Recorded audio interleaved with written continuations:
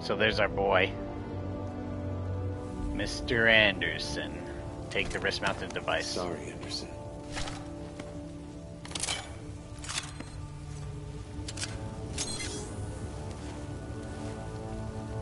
Sick.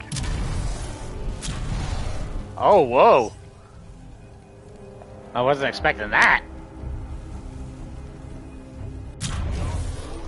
Non-combat personnel and research teams proceed directly to the nearest emergency shelter access point due to a minor security breach.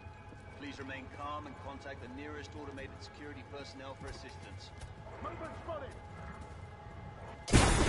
Ah! Okay. Uh, let's see. Oh, I know. I jump on it now, and then I add like this. Good shit. Marder's Log 21B, Human Specimen 3.4. The experiments on the IMS Odyssey's colonists are underway.